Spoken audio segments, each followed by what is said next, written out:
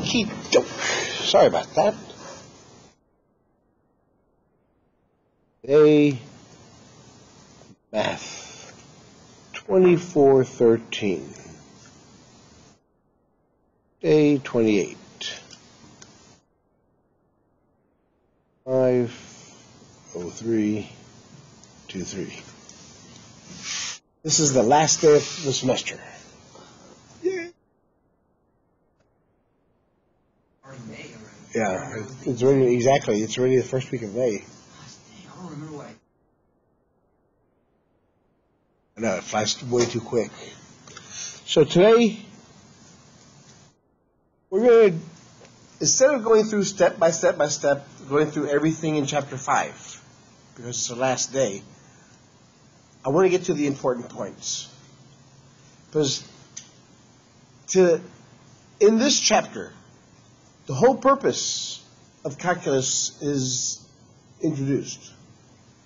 The fundamental theorem of calculus is defined here. And, and we're going to try to cram it in one day. But I'm not, I'm not going to spend more time on the, on the long drawn out stuff like, like the limits and things. We'll talk about that, where it came from, but then we'll get to the formulas, the, the procedures for finding the integrals. We'll just practice on those. And that's what the fundamental theorem of calculus is all about. To begin with, what was the purpose of calculus? Why was it such a, back in the 15, 1600s, it was the hot topic. Why? What was so special about it? Uh, calculus is all about you know learning the real life world situation. Well, you can't apply something unless you have it, unless you know what it does.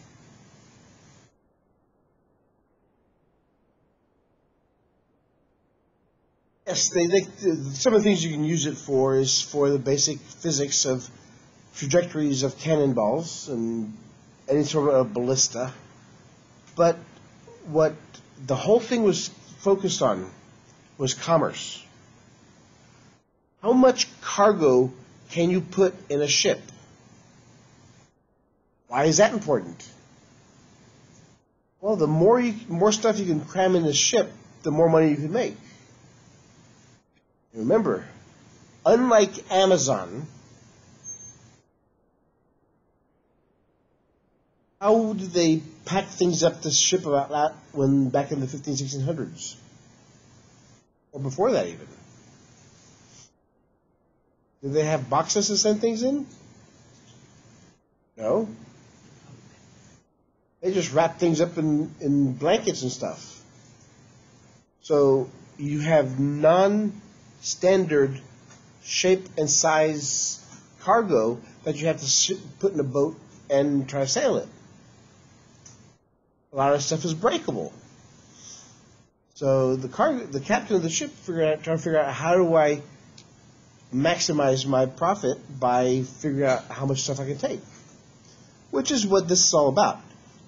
In calculus, the first derivative, going what we've been doing, integral calculus, that's figuring out rates of change. Figure out how fast something's going, how fast it's accelerating, the, and changing positions, or how fast it's dropping. That's the first half. Now we're going backwards. Antiderivatives, integrals. Here we're going to figure out areas under curves. Because if you know the area of a curve, that's only two dimensional. Now, if you rotate it on the z axis, you now have the volume of the object. So, once you know the volume of the object, you know exactly how much space that thing takes. That's where we are today. Section 3.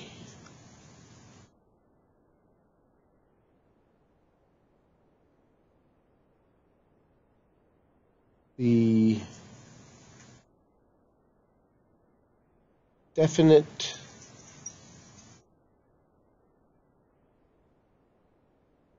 integral. Again, integrals are, we'll, we'll discover in this chapter that we're going backwards in math. And you go backwards, that's where the term anti comes in. It's an antiderivative. It's going backwards. I'm going to I'm going to give you the derivative. You tell me the function it came from.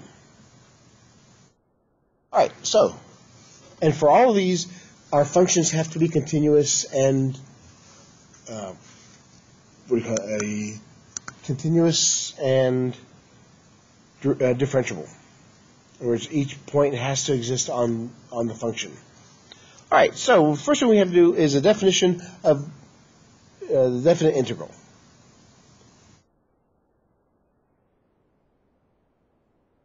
f of x is a continuous function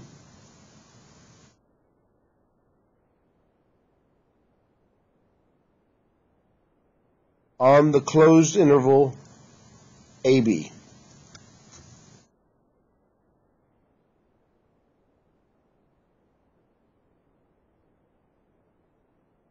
J is a number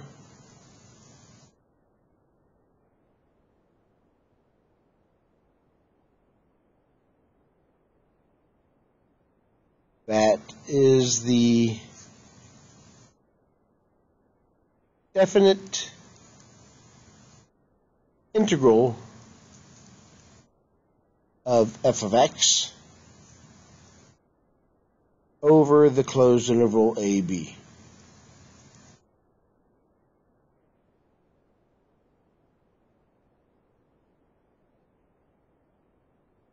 And J is also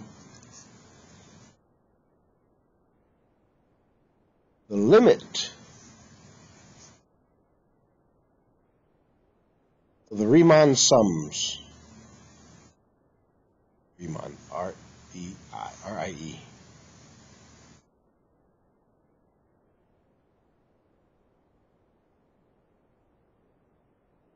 Riemann. What's a Riemann? It's the person's name.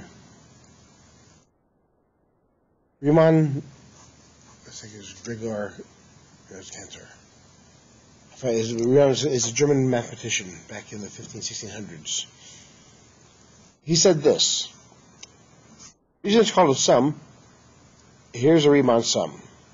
The summation as k goes from 1 to, to n of a function where at a value c times delta x sub k. I'll describe what this is in a second.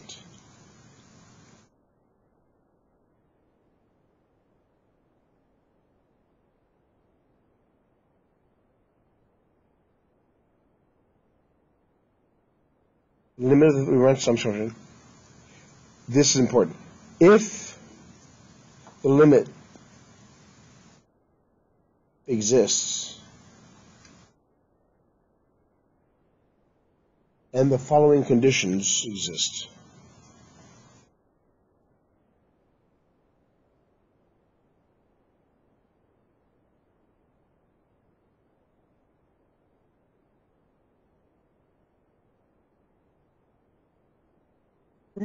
Did limits back in chapter 2?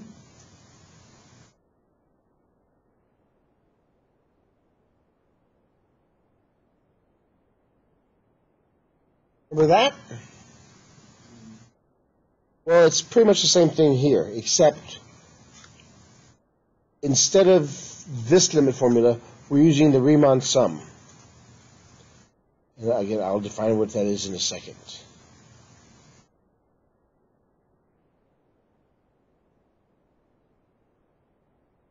Minus j is less than some value epsilon.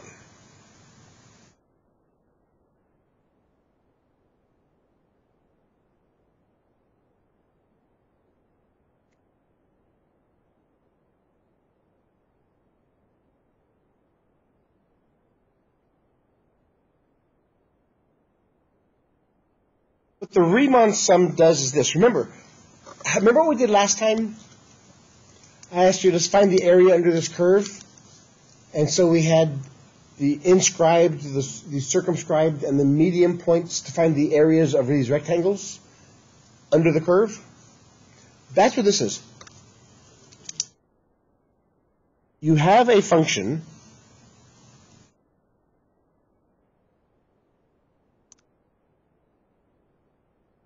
and at certain values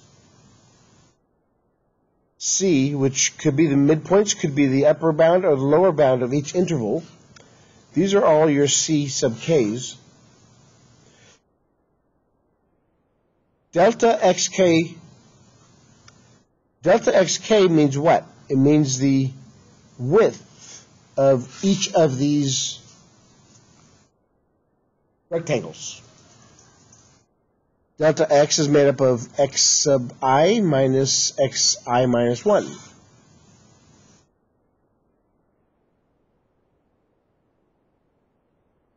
We have a whole series of these.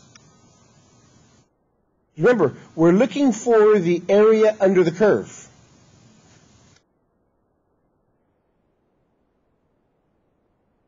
Since we found the area of each of these rectangles, how do we find the area of the curve? Okay,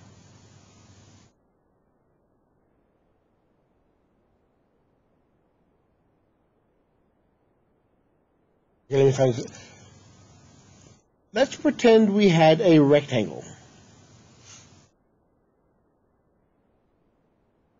From 0 to 1. You will know what the area is of that rectangle.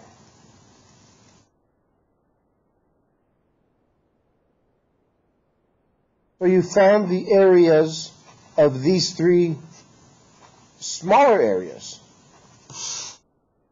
How would you find the area of the entire box?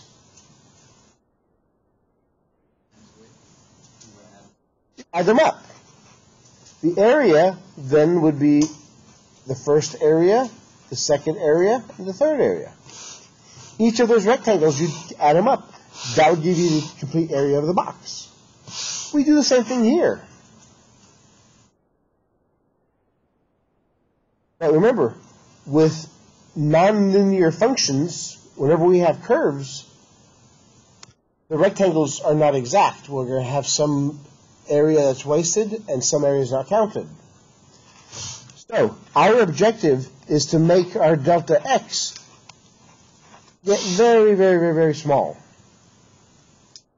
If you do that, that means each of these boxes becomes very, very, very, very thin.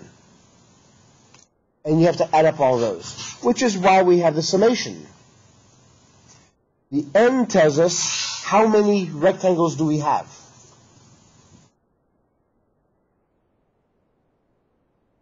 Here we had three, so it would be summation of 1 to 3. The width is the delta xk, x of k.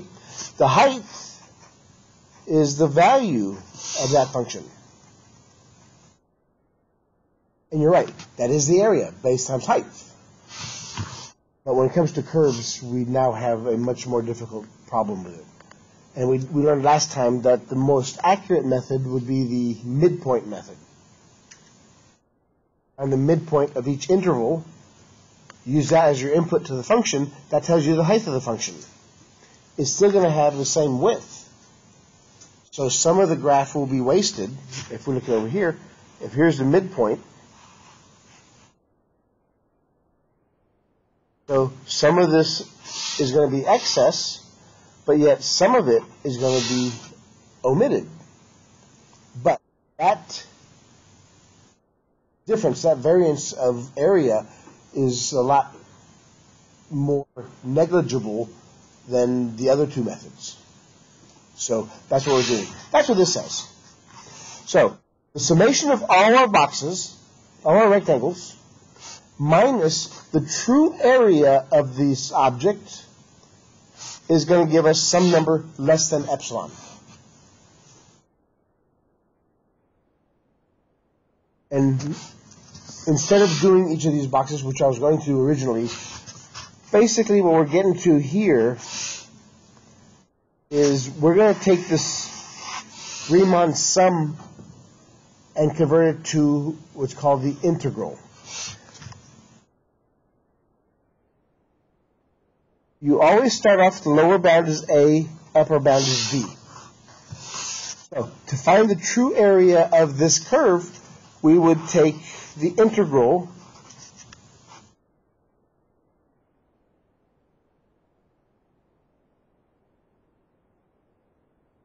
from A to B. Always start at the lower, then go to the upper bound.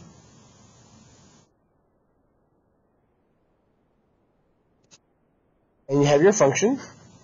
Remember, it's still base times height. The f of x is your height. Delta x is your base. It's your width of each box. So that's what we're going to have to define.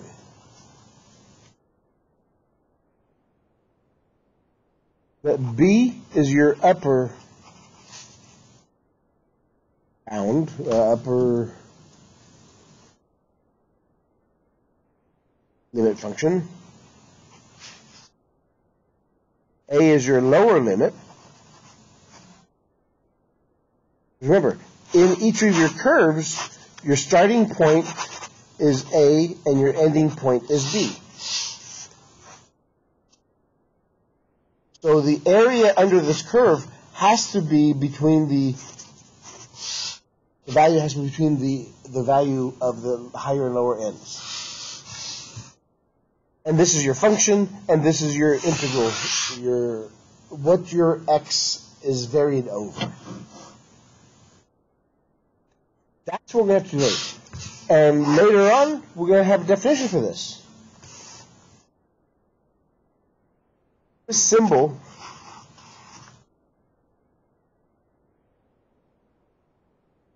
was introduced by a guy named Gottfried von Leibniz.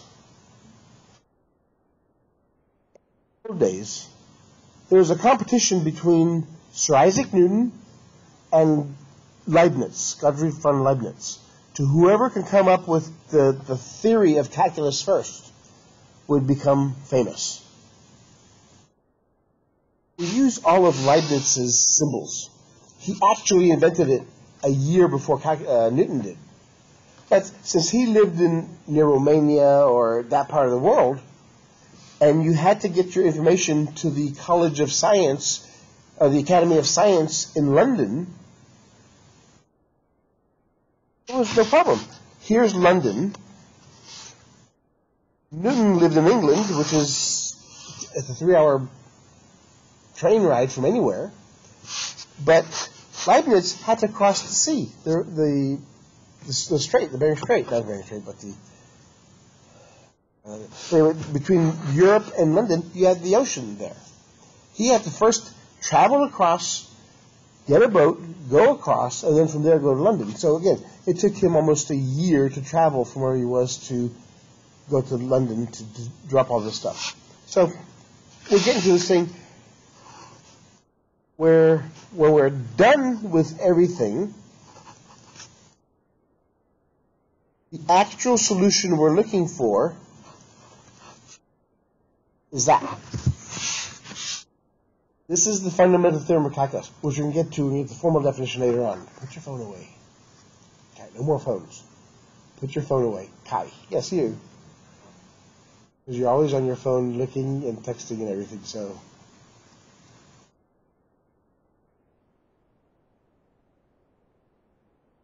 You notice there's a difference between the function notations.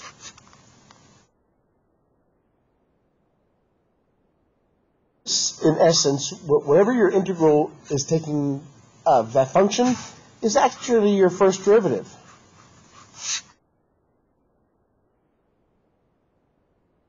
After we do this process, what you're going to end up with is the original function that ended up to being that derivative.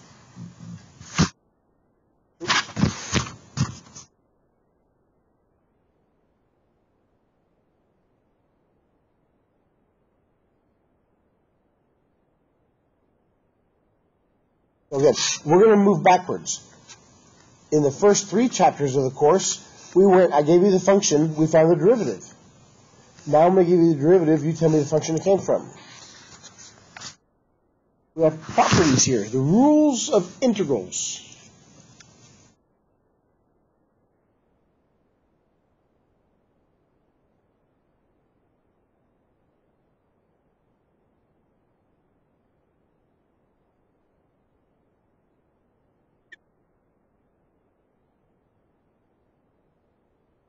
Order of integration.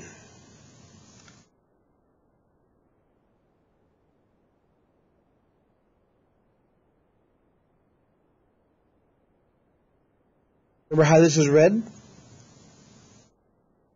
So the integral of f of x from a to b over x. It's read the integral of f of x from a to b over x.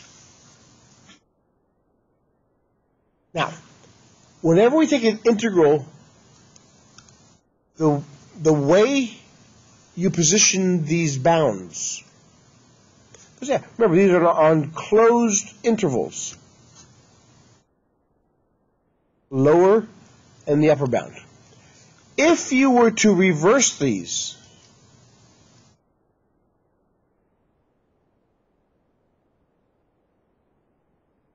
actually have to take the opposite of it. It becomes the negative of it.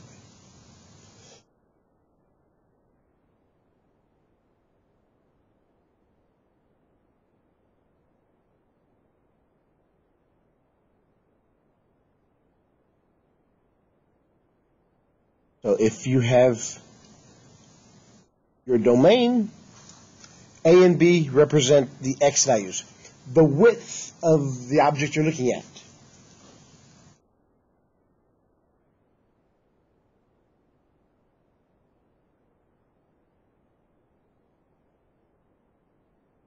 Zero width interval. What if we went from A to A?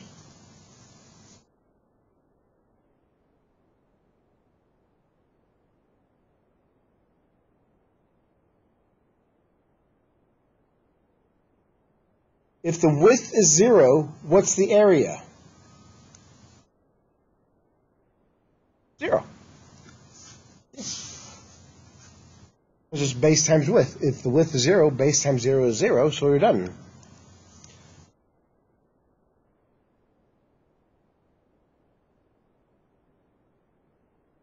The constant multiple property.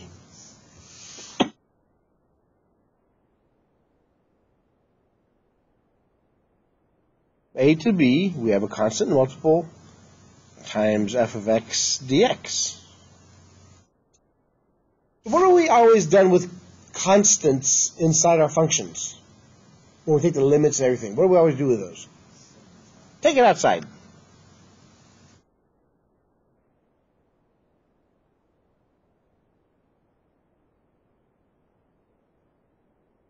Because the only thing we're interested in since we're taking the integral with respect to x, that's all we're interested in. We're interested in what values relate to our domain.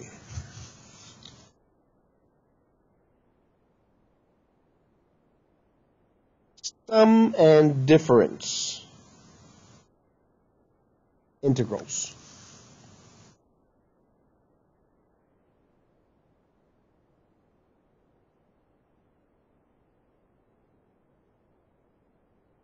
If we had two functions,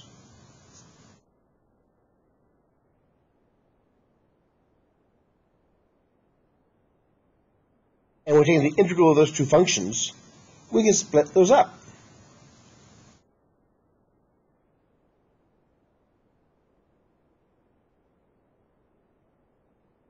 So we can take the first one, f of x dx, plus or minus whatever the operation is, the integral of the second one.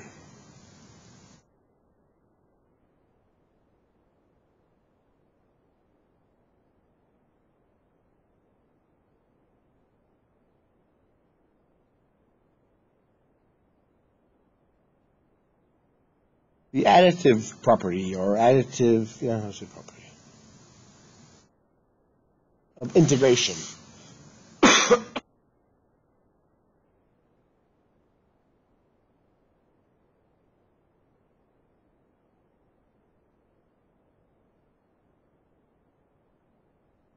Do you, do you always have to integrate from A to B, the entire domain? Do you always have to do it that way?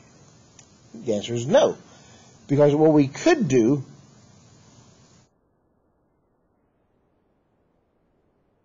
we could split them up into smaller functions, smaller uh, bounds of integration.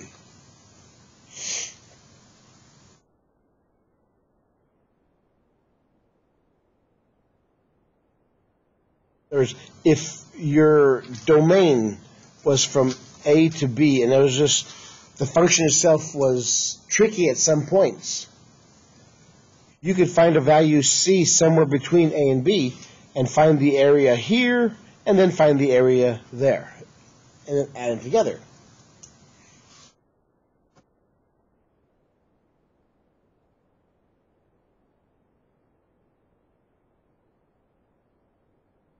The maximum minimum inequality.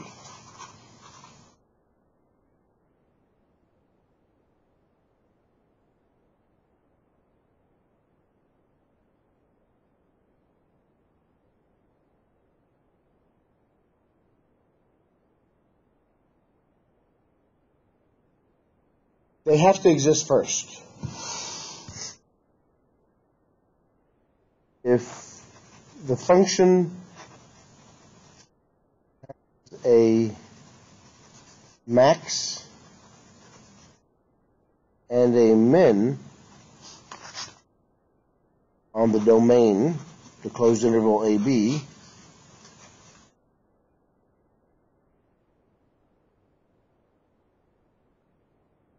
and the minimum of our function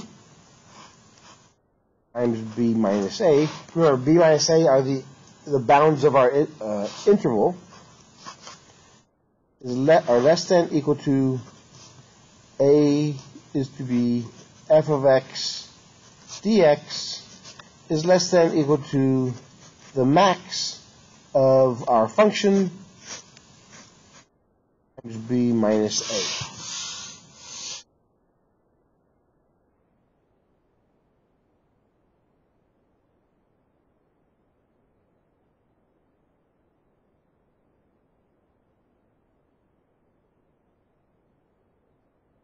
do the min of f times the b minus a. Then the max of f times b minus a.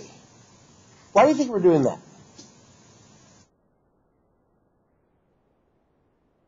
What are we looking for?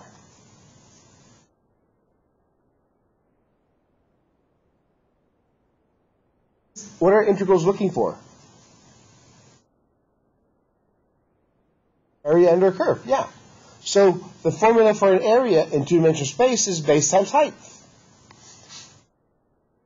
The minimum of your function is the height. That's the y value vertically. Times b minus a, that's the width, the difference between your x-axis. So you have the, the height times the base, and here's the maximum. It's the how high. It's the highest it can go times the width. Integral, we know that's what it was looking for. So that's, we have to always consider our values, our functions, as being the area of what we're looking for.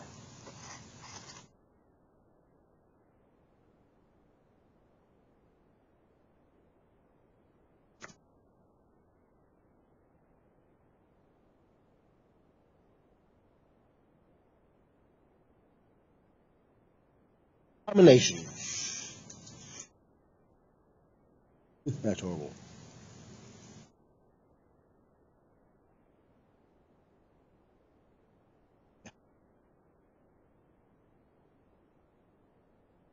This This is the comparison. If we have two functions, if f of g is greater than or equal to g of x, fx is less than greater than g of x. Remember, these are all on our closed interval AB. Then the integral of f of x dx is going to be greater than the integral of g of x dx. Why is that?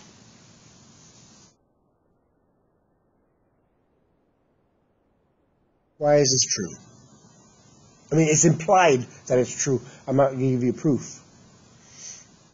Because if the function f is bigger than g, f is the height of the object itself. So if the height of f of x is taller than the height of g of x, they're both going to have the same delta x. Bless you. So because f of x is higher than g of x, the area is greater. And that's what this thing says. Conversely, if f of x is less than or equal to g of x on the closed interval AB,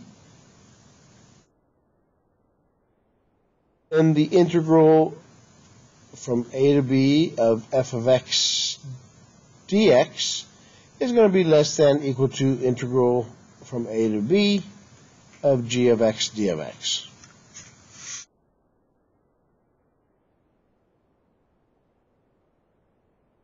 Some examples for you.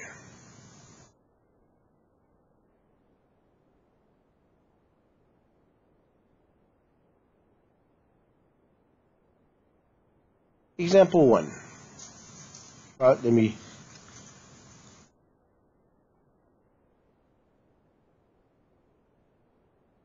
Let's say the integral from negative 1 to 1 of f of x is 5. From 1 to 4 is negative 2.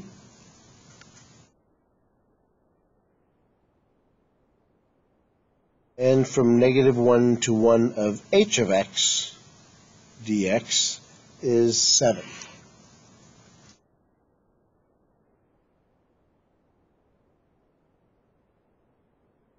Here are your questions. The integral from 4 to 1 of f of x dx equals what?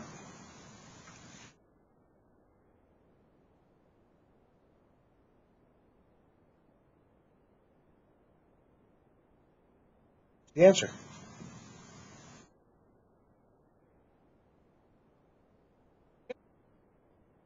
Why is it 2? Yeah, because the the bounds, the lower and upper bounds, have switched. Here in the given section, it goes from 1 to 4. Now this one goes from 4 to 1. So because I, I change the order of integration, I change the sign. How about from this one? Negative 1 to 1. 2 times f of x plus 3 times h of x dx.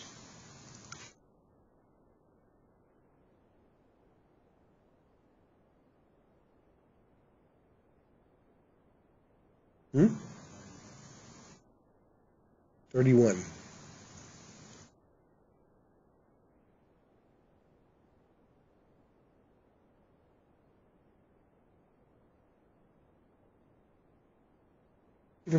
Yeah.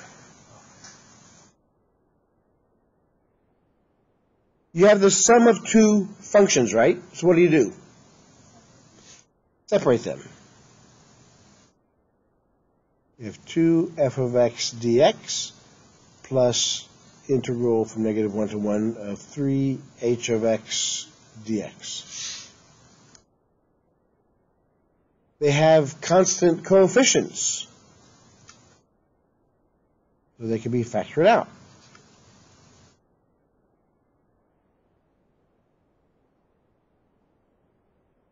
So it's 2 times the integral from negative 1 to 1 of f of x dx plus 3 the integral of negative from negative 1 to 1 of h of x dx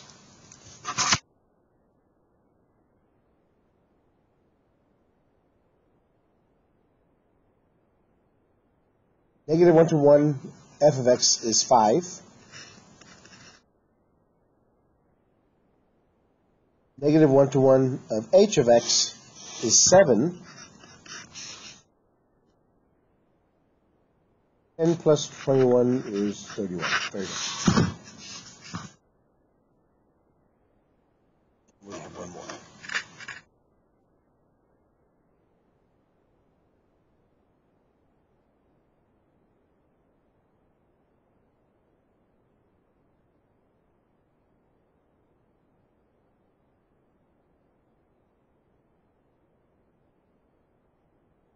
And the third one.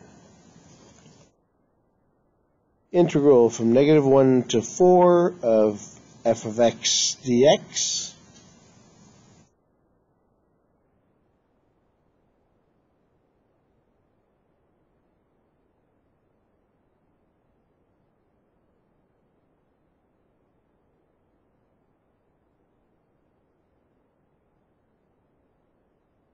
What do you think you do here?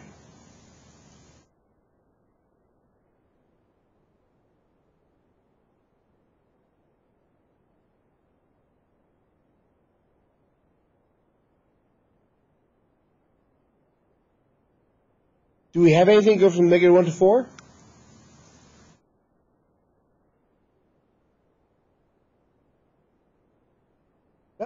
According to your givens, f of x goes from negative 1 to 1,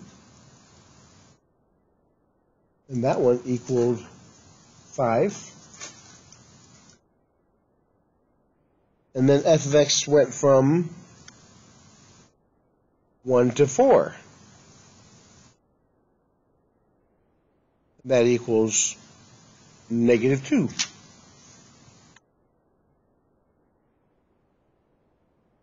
So, since we don't have both the entire list from negative 1 to 4, we have to break it up into both of these parts. So we go from negative 1 to 1, and then we have to add the next one from 1 to 4. If we add these together, this one goes from negative 1 to 1, 1 to 4. Then if we add them together, we're going from negative 1 to 4. This first one is 5. The next one is negative 2. Add them together, you get 3. The area is 3 whatevers.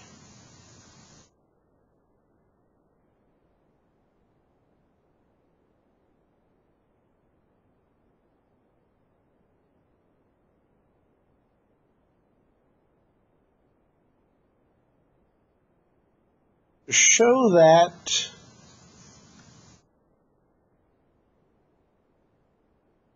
the value of 0 to 1 of 1 plus cosine x dx is less than equal to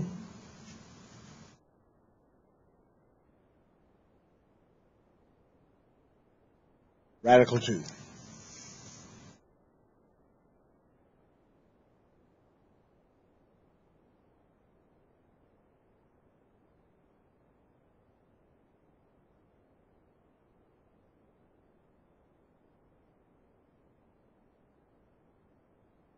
So what are we asked to find here?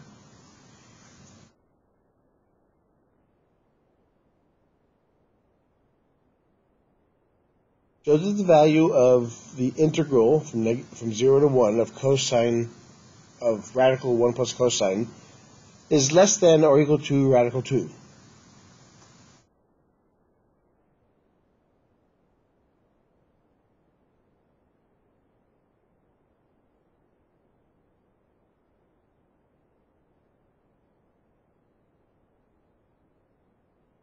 So what we have to find is that.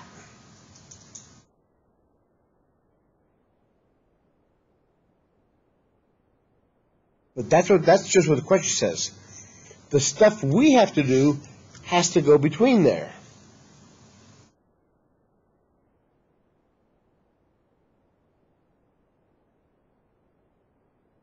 Our proof has to go between here.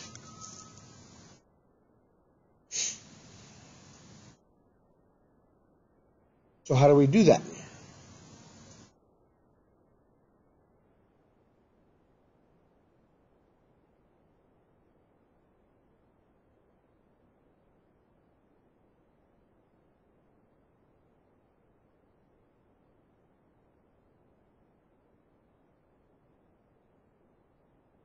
No. Good thinking though, but no. Ellipson because we'd have to first figure out what the area was first. We're just asked, it's given to us. It's saying it's, it's radical 2. We just have to find, says, show that this value is between those ends. Again, we're trying to find the area, right? So what would be the area function with the information that's given to us in the question? What's our height? What's the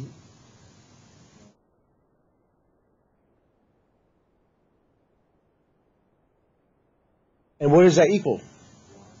No, no. What does that equal? So we have the radical 2, that's our height. What's our width?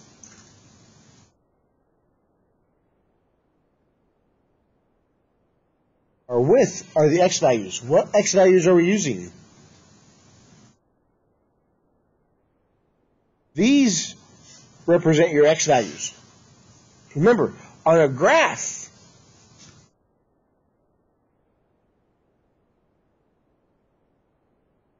your upper and lower bound of your integral function comes from the x-axis. It comes from the higher and lower values of your domain or your subdomain. So the higher is 1 minus 0. Here's your y value, because that's the height. Here are your x values.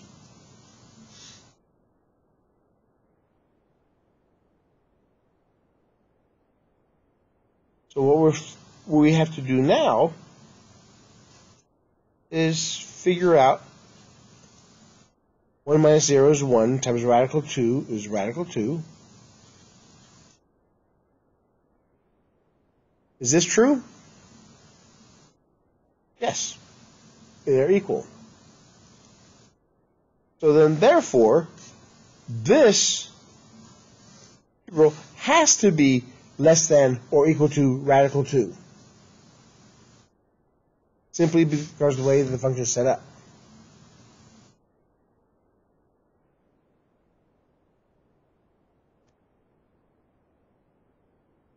Any questions about that? Here's another example.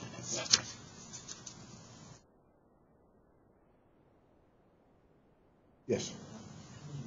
Okay, yeah, yeah, go ahead, go, yeah. Yes, no, no worries. Yes, me too.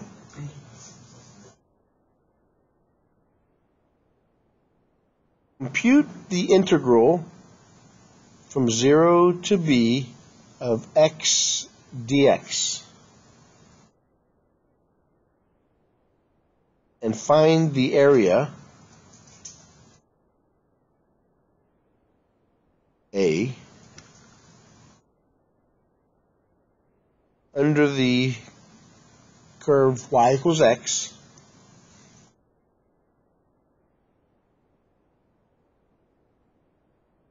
over the integral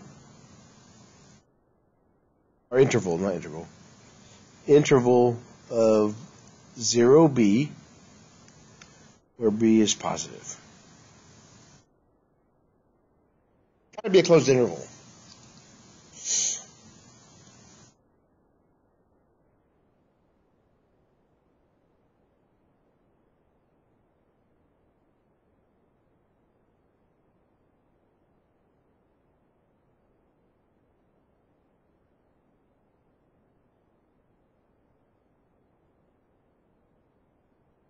We know from our last example between the integral less than or equal to radical 2. The way we set that up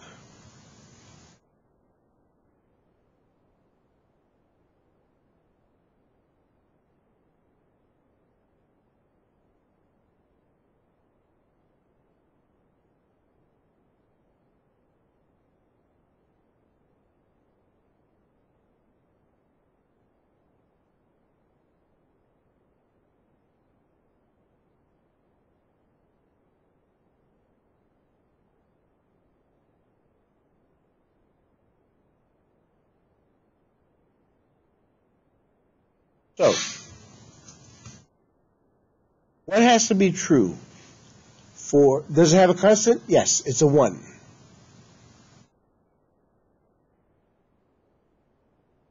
We know that our C is 1.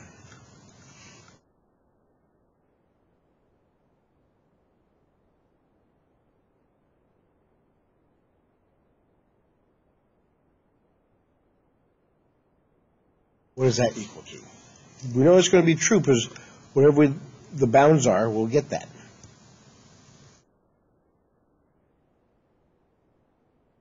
What? Group is X, not C. What does X or F have to be if the derivative is X?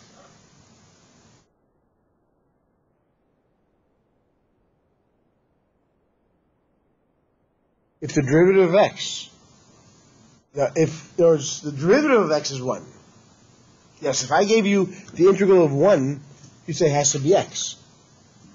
And we're going to talk about those if we have time today. It would be the const, uh, x plus some constant. Because when we take a derivative, for example, the derivative of x plus the constant would be simply 1 plus 0. It would just be 1. So when we're going backwards, we have to consider what the constant is. That's why we're doing this first. We know now our C is 1. So, if the first derivative of x, what is the original function?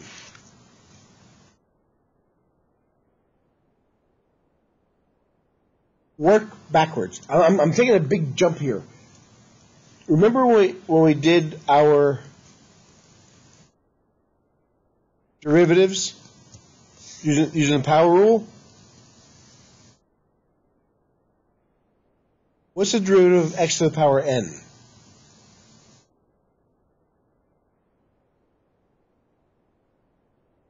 n times x n minus 1.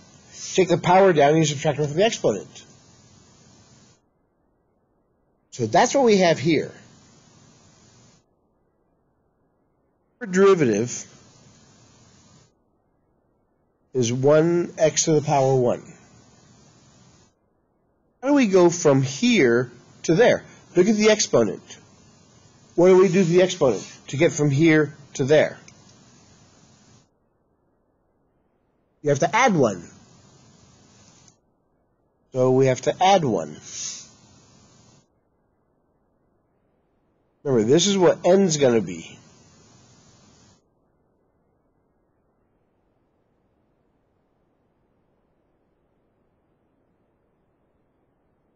So what we're looking for is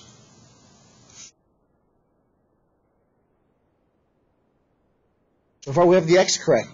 If you take the derivative of x squared, that 2 comes down here, right? But it disappears. It's no longer there. What would have to happen for this to disappear?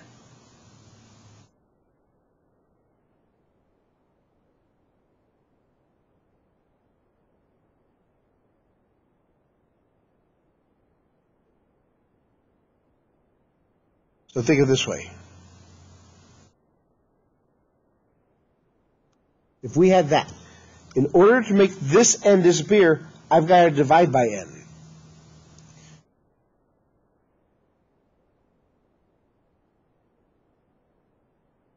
So the derivative of this one, leave the bottom, it's constant. So bring down the 2, subtract 1, those cancel. That's what I have.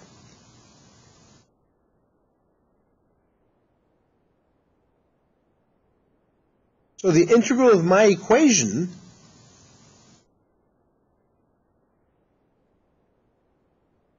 is it has to be x squared over 2 plus c. That's the function it came from. And we know that c is 1 because of this rule. We look at there. cx equals that. So c is 1. So we know our equation is x squared over 2 plus 1.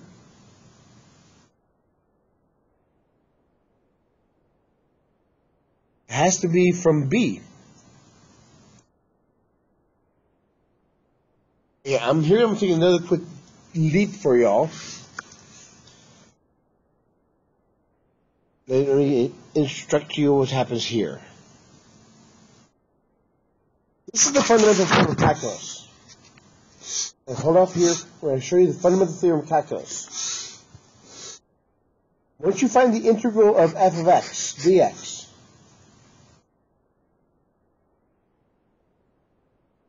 let's say that equals some some function f, capital F, because it's not the same as this one. Remember, this one here is a derivative. This one here is the antiderivative. Since I'm finished with the integral,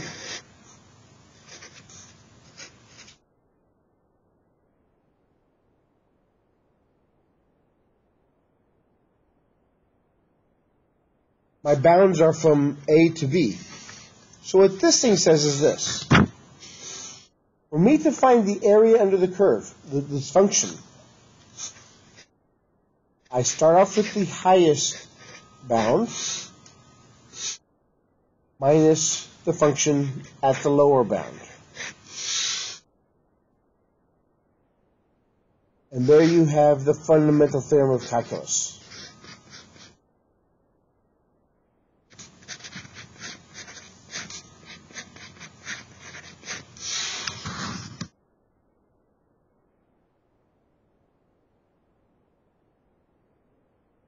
That's what the whole battle is about.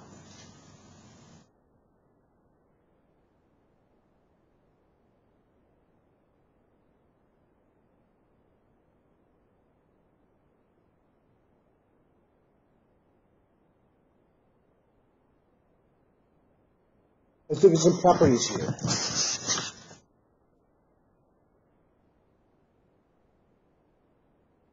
So the integral of a constant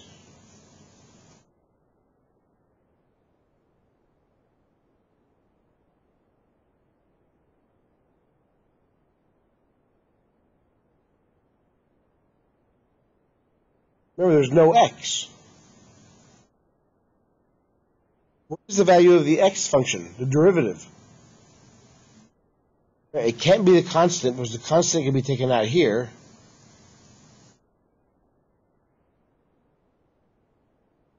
There's a 1 right here. So if the derivative if the derivative gives you a 1, what was the original function then?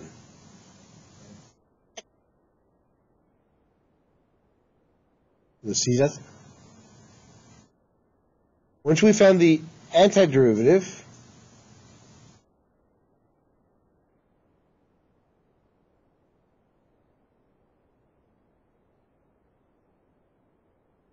with constant.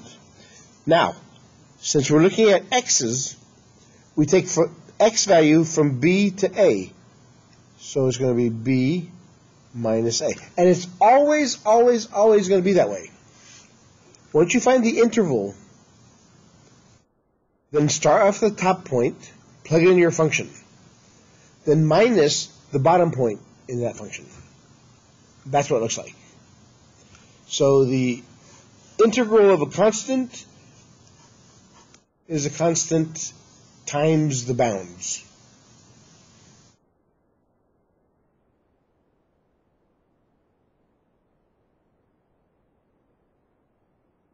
We just did this one.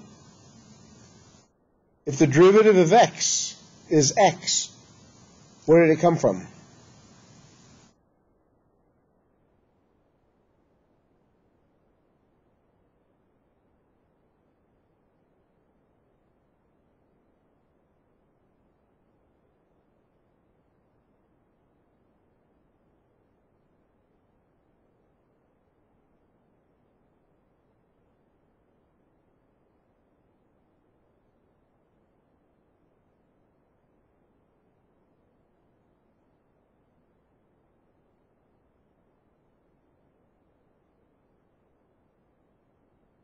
You start off at B minus the value at A. But this is the important part right here.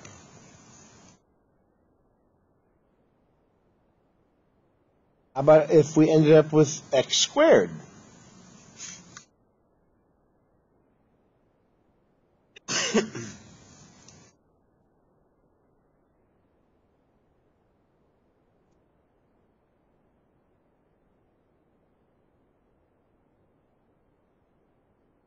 Mm-hmm.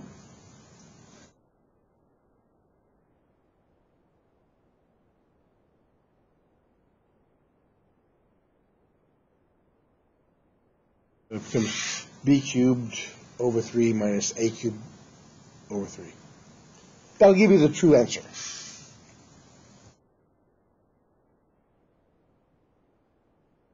So the formulas uh, without, without the bounds. The integral of a constant is that constant.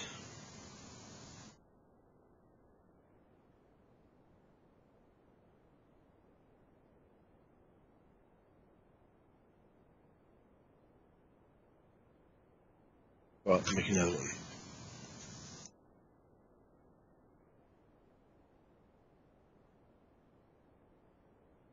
The reason, because yes, we know the integral of constant is that constant times the value x. The derivative of x, it becomes 1, and then you have a constant. You take each one of these have to have a, a constant value. So, words, if I gave you 2x plus 3, that's my function, what's the derivative?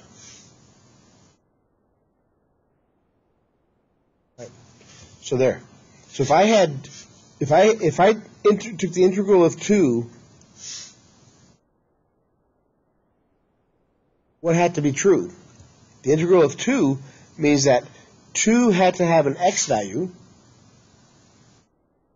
plus something else, some other constant, and that's what this thing says.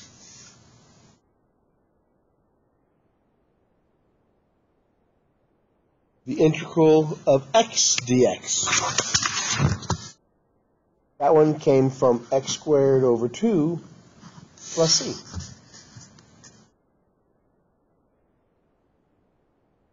And the integral of x squared dx, it came from x cubed over 3. Is there a pattern forming here?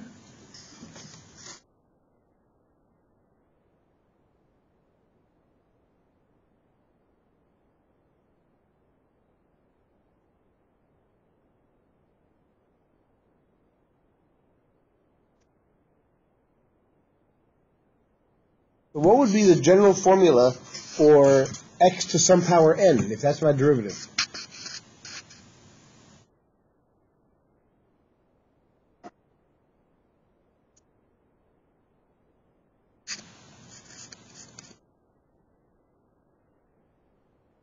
The integral of x to the power n dx would simply be x to the power n plus 1, because you have to add 1 to the power, and because that becomes the coefficient, you have to divide by it. Plus some constant. And there's your general formula for it.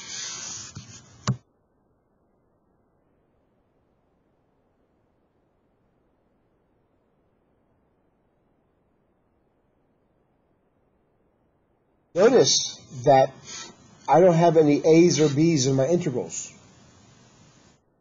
These are indefinite integrals.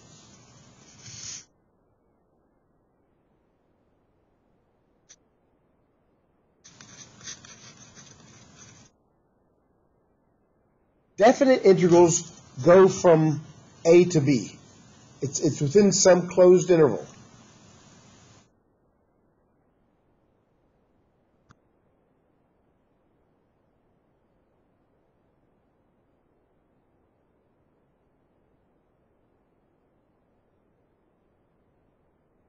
How would you find the average area under a curve?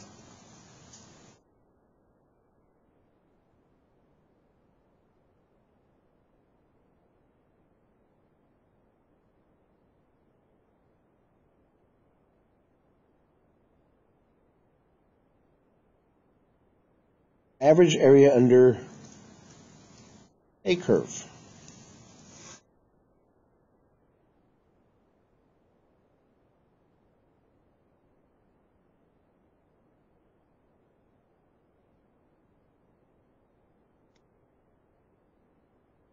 So it would be the area divided by B minus A. Part over total. So what is the area?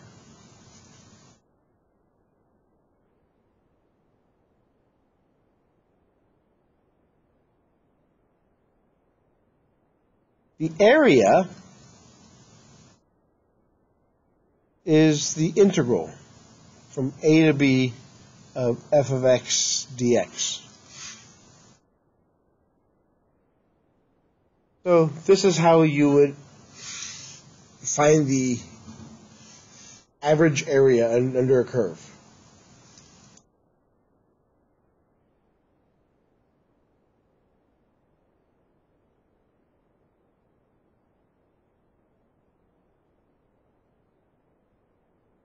Find the average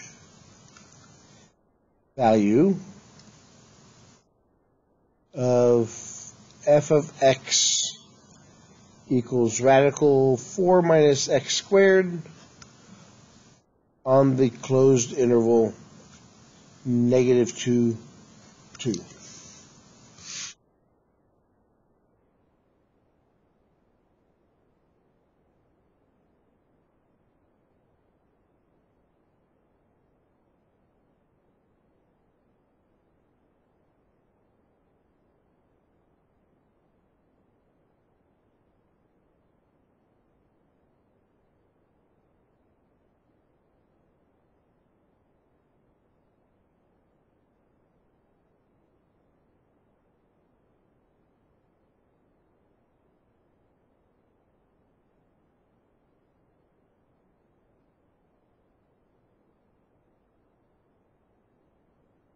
First off, what does that value, the, the function represent?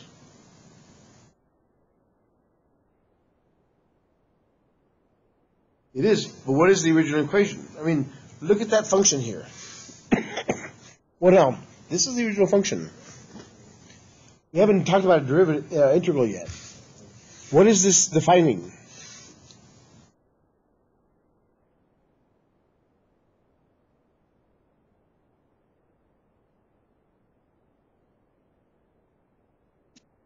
That's you.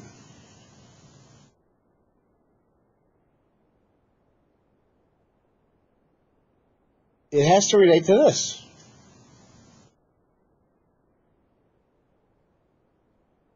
Four is made up of two squared.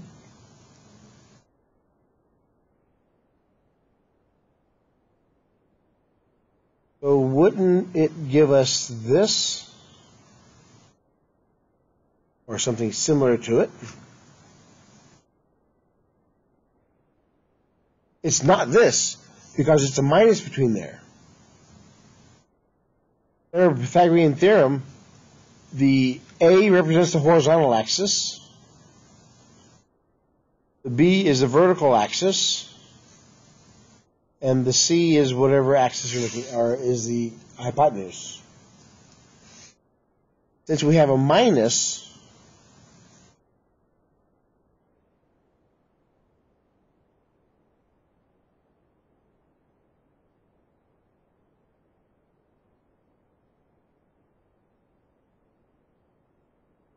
we have is, since there's no plus or minus in front of that one, that means we're dealing with half a circle.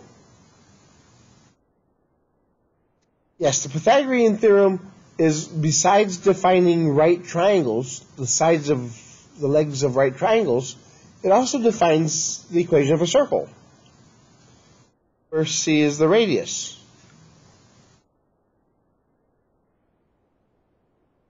So our picture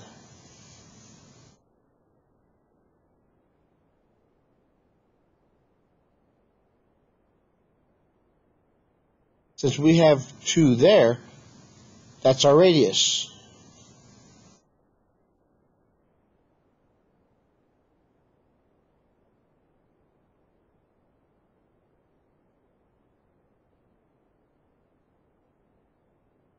Since we don't have the minus sign, we don't care about the bottom part.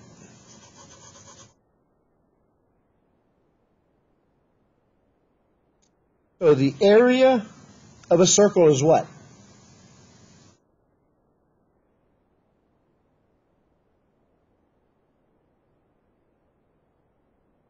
What's the area formula for area of a circle?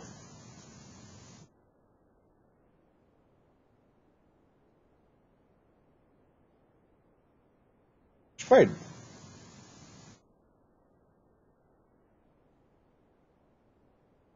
That's a whole circle.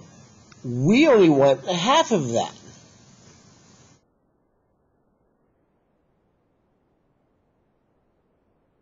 The formula we're going to be using for our half circle is pi r squared divided by 2. What's the radius?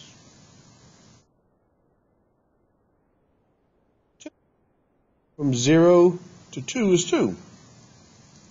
So r equals 2.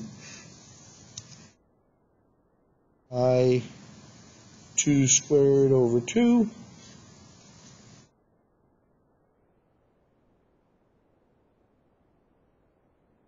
So we know the area we're interested in is 2 pi.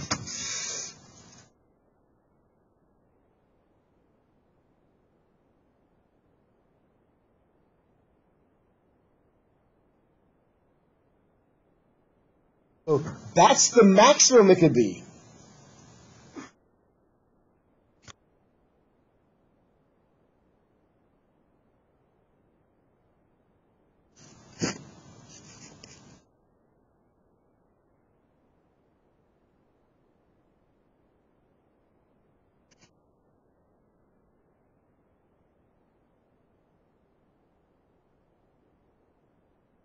So our function, the average of it, after we take all the rectangles, the average of all those should be less than or equal to the area we just calculated, which is 2 pi.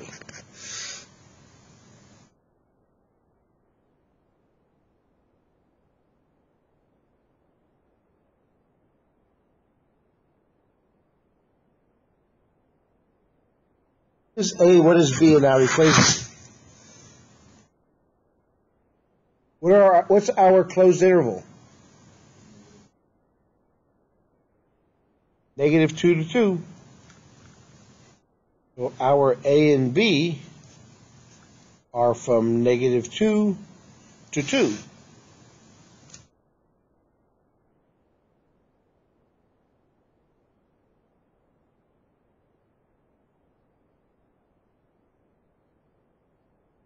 Two minus negative two, the integral from negative two to two,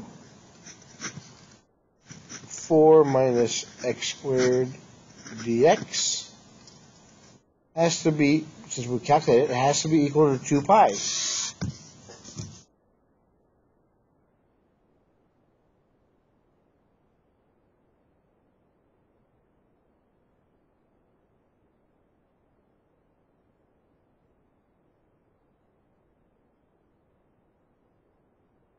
So the, the overall has to be there.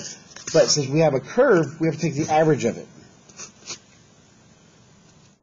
Negative negative makes it positive, so it's 1 over 4.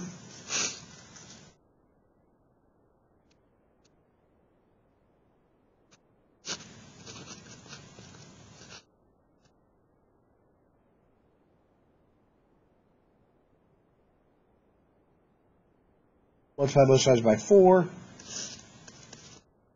Whatever our integral is, that equals 8 pi. We haven't talked about how to uh, integrate those kind of problems. We're not going to go any further with it.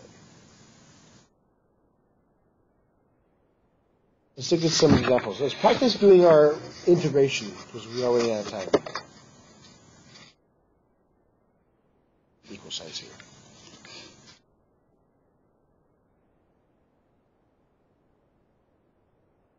Here's some examples.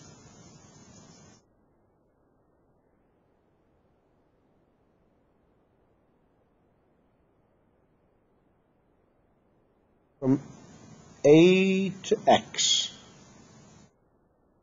e cubed plus 1 dt. I'll put all four of them up there. 1, 2 would be x to 5, 3t sine t dt.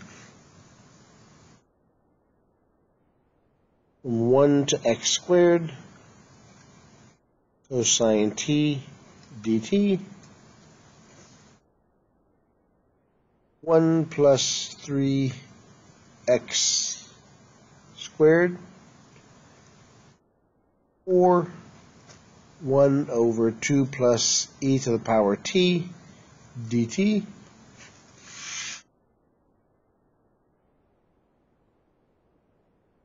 I figure these out.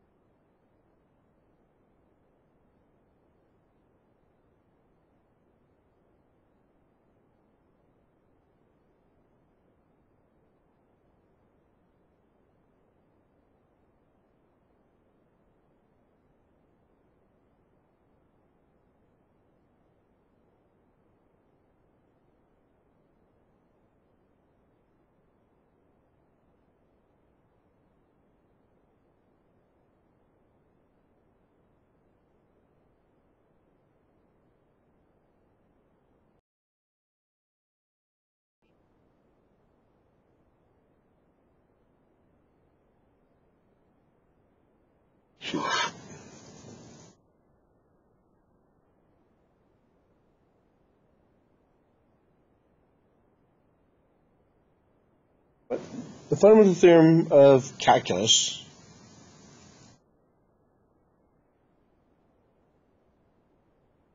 one.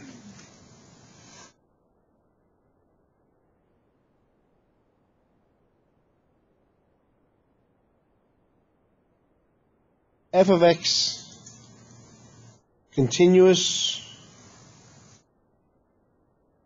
on the closed interval AB. So if f of x is continuous on a closed interval AB,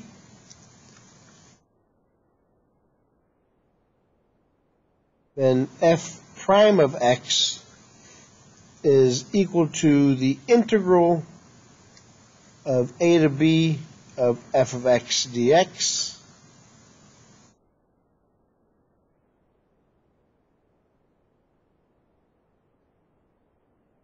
then f, f, prime of x dx is, is that. And it is continuous because it's a differentiable function.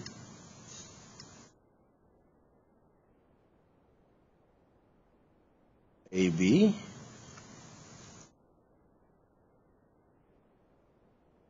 and differentiable. The open interval.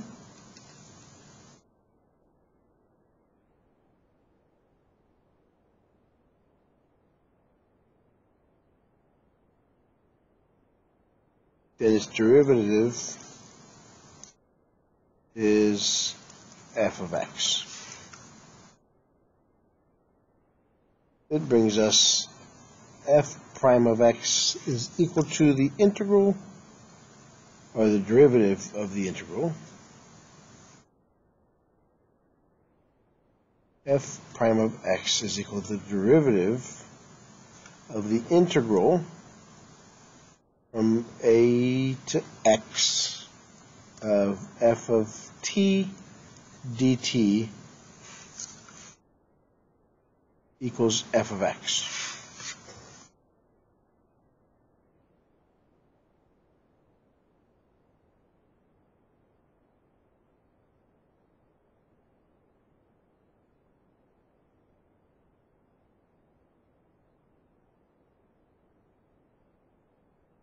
the derivative of x is equal to the derivative of the integral.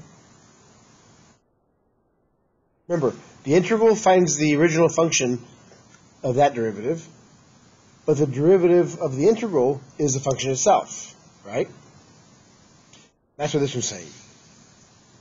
The only thing different is we're differentiating with respect to t,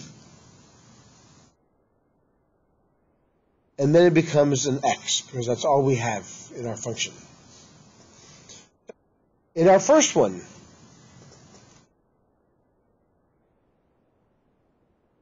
we're asking for is the derivative of this function integrable over x dx.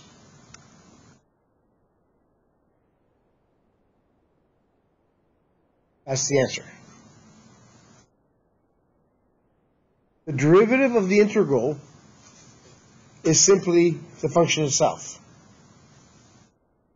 Think of this again. The derivative of the integral is simply the function itself.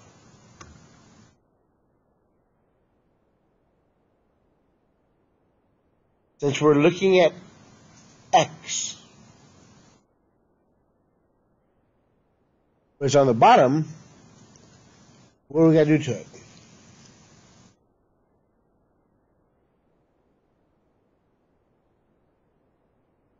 Yes.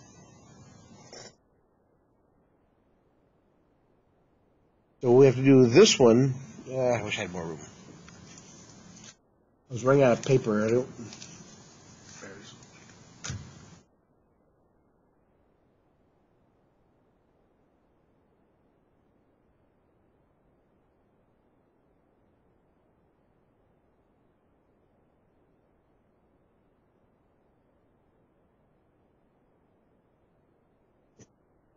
Number two.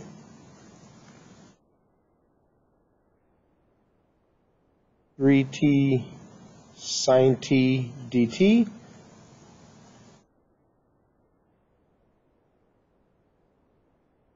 When we switch the points of integration, we got to change the sign.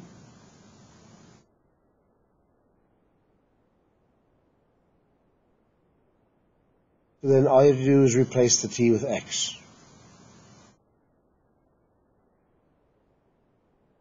There's, I'm sorry, there's that answer.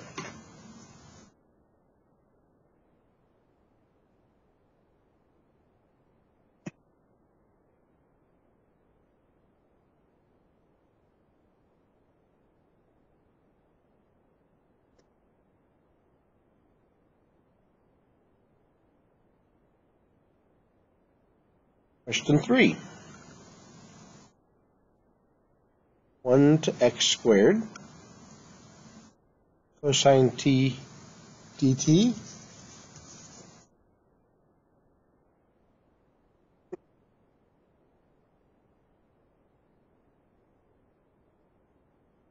So can we just plug it in and go?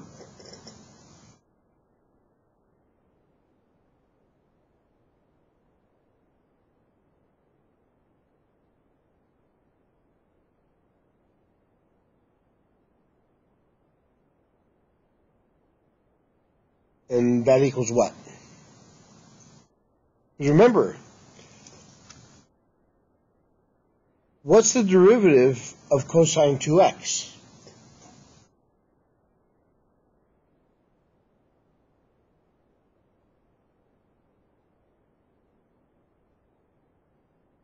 Uh, cosine x squared, I mean.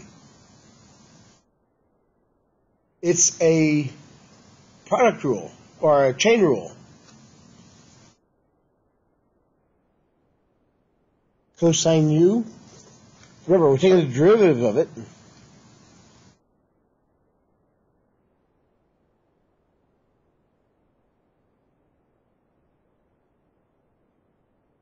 So the derivative of cosine is negative sine u u.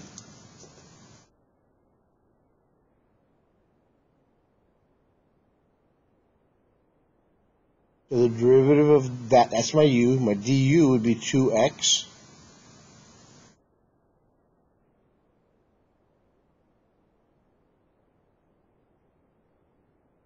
cosine x squared.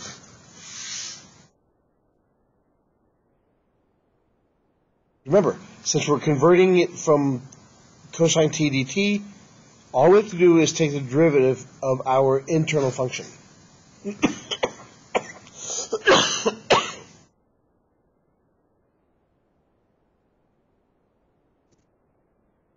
And the last one, 1 plus 3x squared goes to 4 of 1 over 2 plus e to the power t dt.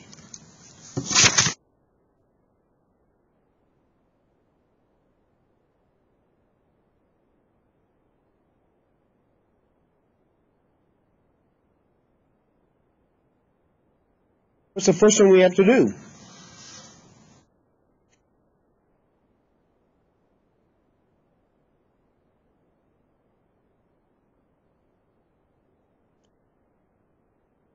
The x has to be on top for us to be able to integrate it.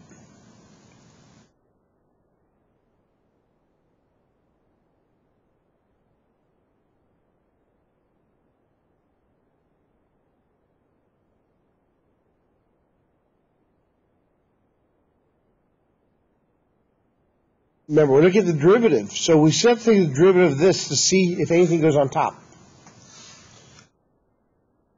So what we would have had, we'd have 2 plus e to the power t to the power negative 1. The derivative of this would give us what?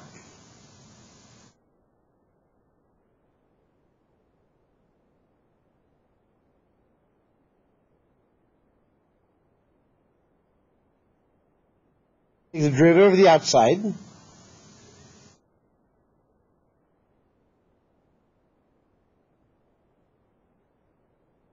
Times the derivative of the inside, which is e to the power t.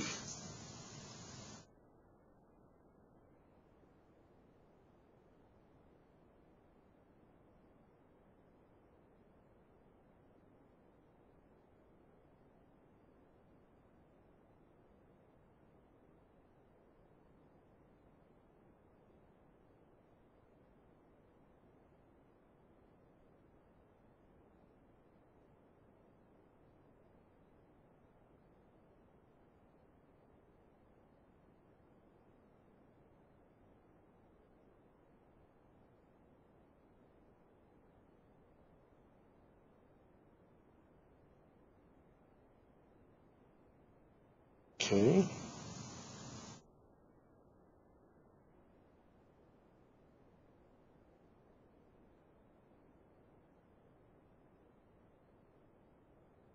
The only thing different here be that.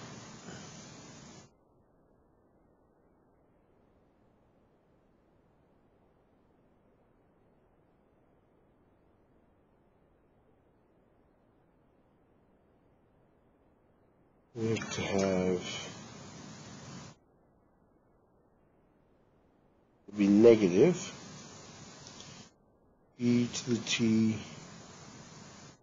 plus et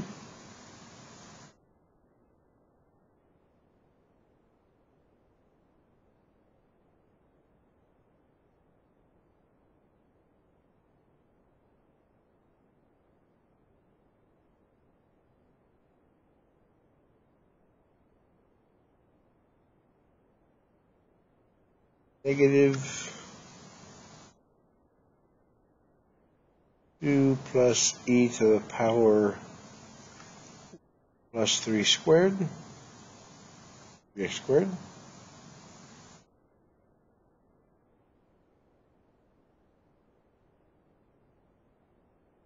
Top would become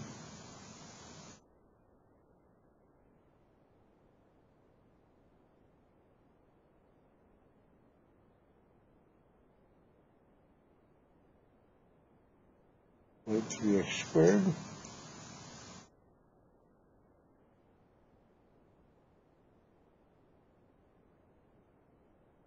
The derivative is a function itself.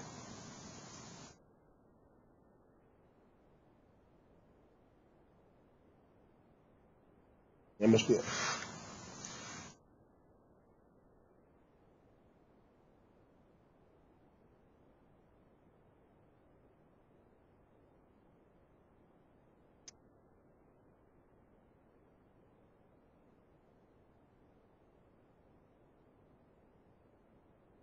I'm not sure about. Okay. Let's look at some trig functions.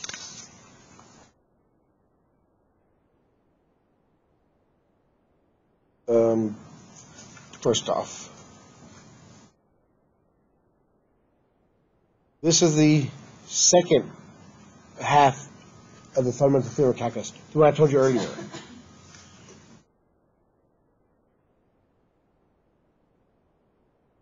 From 0 to pi of cosine x dx. What's the integral of cosine x dx?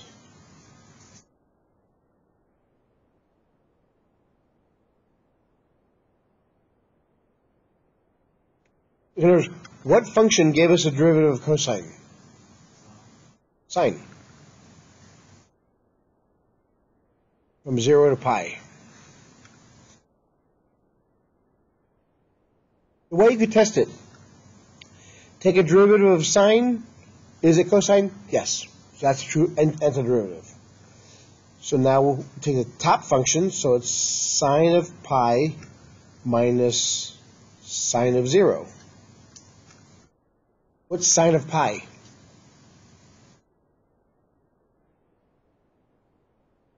Zero. Sine of zero is zero. The answer is zero.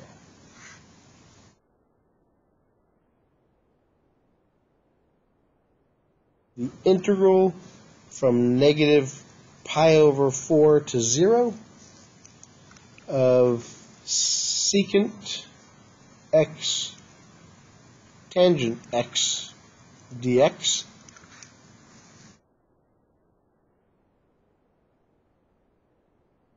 So look at your notes.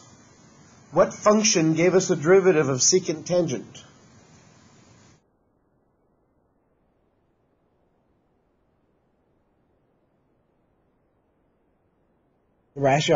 Put together a sheet, a formula sheet for that. I, am still going to send it to you.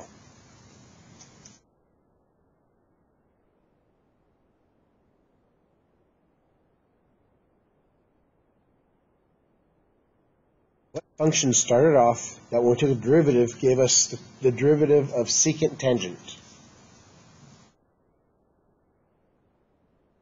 Secant. Very good. Find it? Yes. Good. Secant, the derivative of secant is secant tangent.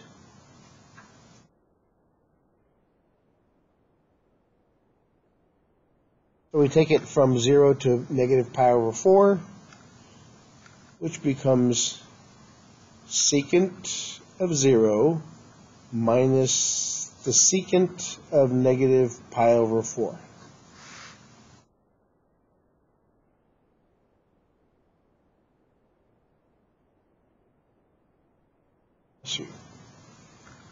Secant is 1 over cosine.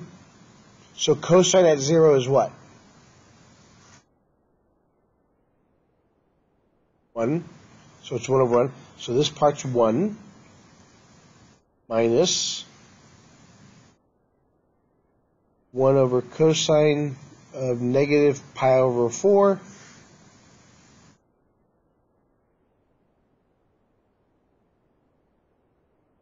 negative pi over 4 would make it,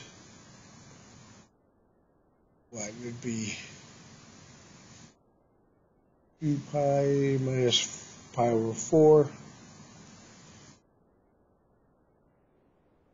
8 pi over 4, 7 pi over 4. So what would that give us? What's the cosine of pi over 4? It's going to be positive because cosine deals with the x-axis. So what's cosine of pi over 4? Positive pi over 4. Factor 2. Yeah. And there we have it. Third one, integral from 1 to 4 of 3 over 2 radical x minus 4 over x squared dx.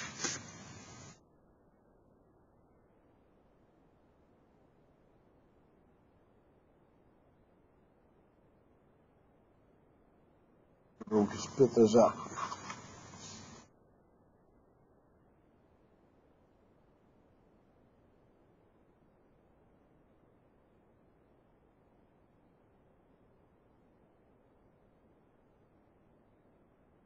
You take out the constant.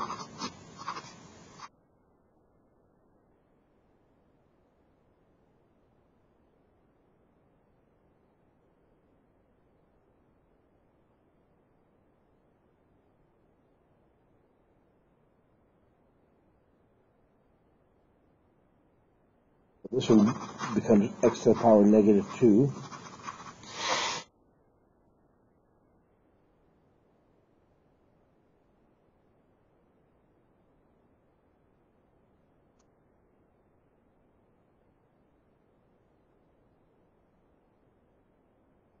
Radical x is x to the power 1 half.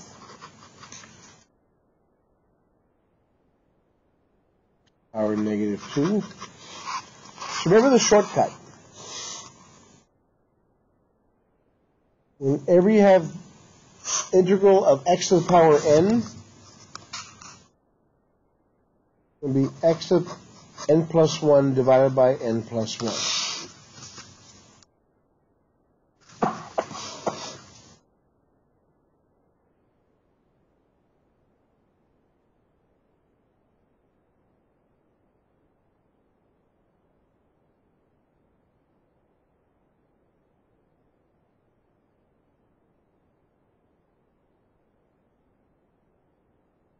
So we have to add 1 to the exponent up here. And much the same thing up there will be on the bottom. x to the power 3 over 2 over 3 over 2 from 1 to 4.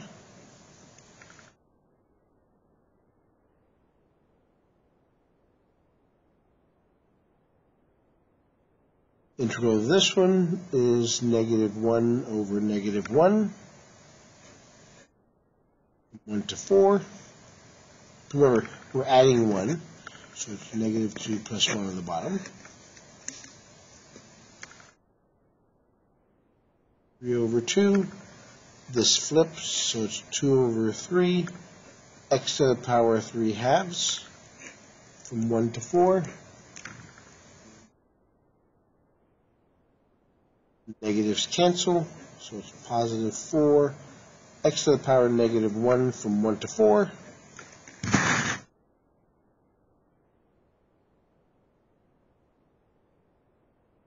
Coefficients cancel. x to the power 3 over 2 plus 4x to the power negative 1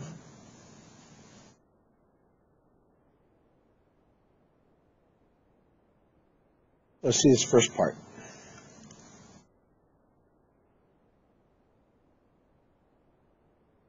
So we have 4 to the power 3 over 2 minus 1 to the power 3 over 2. These are my x values. You got the 4, so it's 4 to the power negative 1 minus 1 to the power negative 1.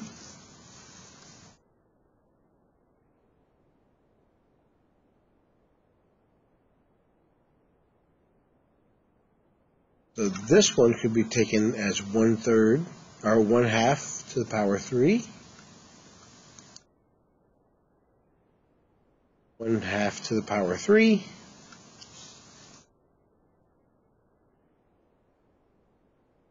One over four minus one over one. So the power one half is a square root. The square root of four is two to the power three. 1 to any power to, 1, so it's 1.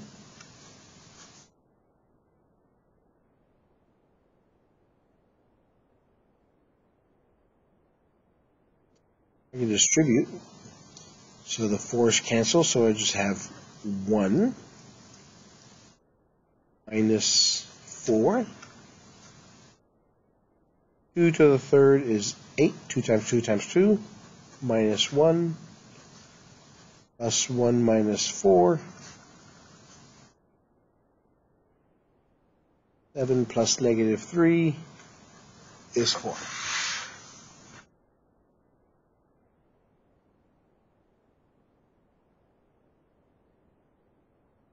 Went through each step for y'all there. All algebraic.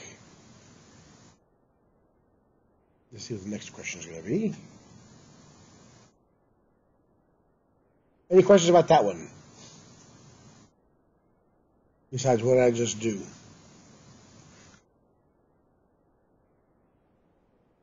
What did I do? Okay, let's. Okay, let me. I want to do one more. Oh well. What I did.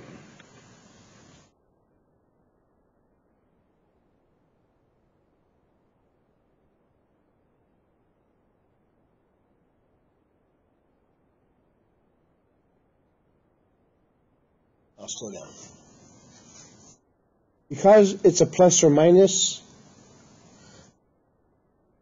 I can take the integral of both parts separately.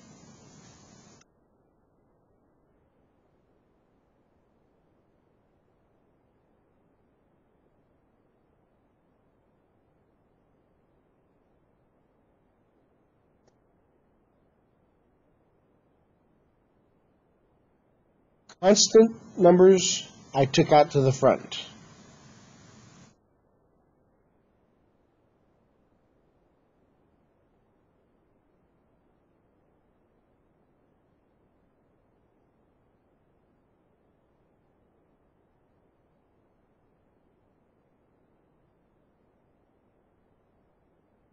need to have exponents. So I rewrote the first one. Radical x is the same thing as x to the power 1 half.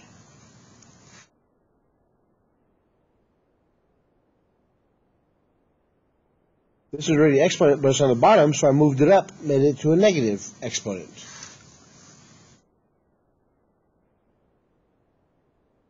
Now, the rule here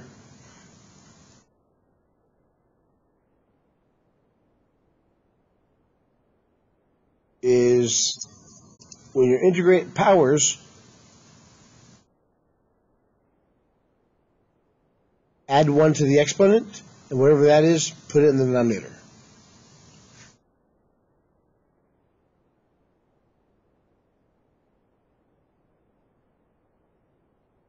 So add, add 1 to the top, and whatever is on top, I put on the bottom. 1 half plus 1 or 2 over 2 makes it 3 over 2 over 3 over 2. And it's from the, the bounds of my, once, once you take the integral of it, you have to take it to the bounds. Add 1 to the top. So negative 2 plus 1 is negative 1 over negative 1.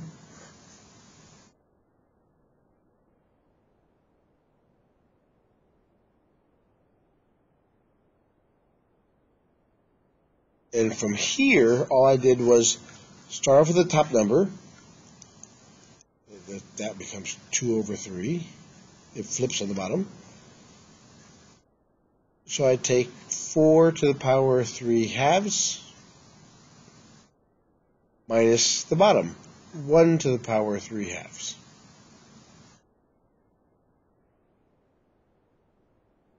Four to the power of negative one over negative one minus one to the power negative one over negative one. These cancel.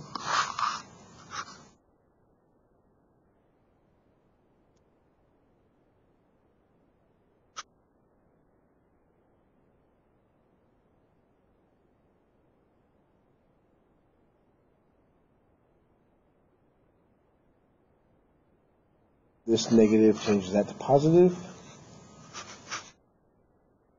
Negative x power negative 1. 1, because 1 anywhere is 1.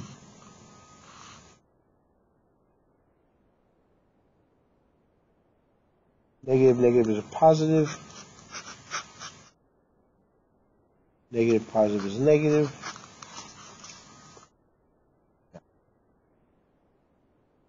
Or if the exponent is on the bottom,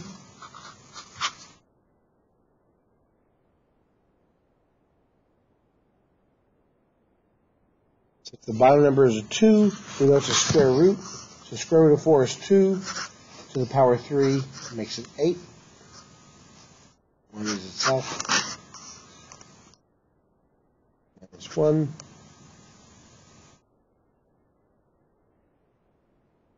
This one was 4, no, actually it's 4.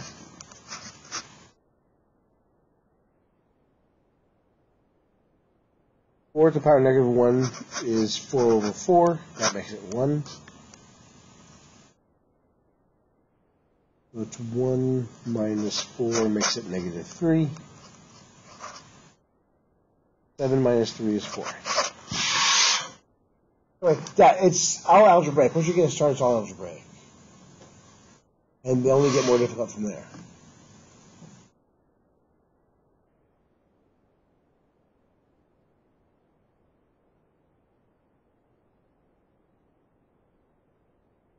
One last, to- Tell me the derivative, or the integral of this function.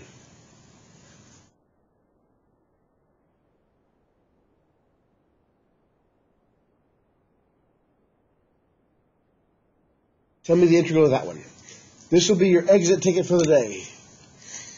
Show it to me and you can leave. Thank you all very, very for a wonderful semester. Thank you all very, very much. I'm sorry if I was scatterbrained most of the time, but thank you.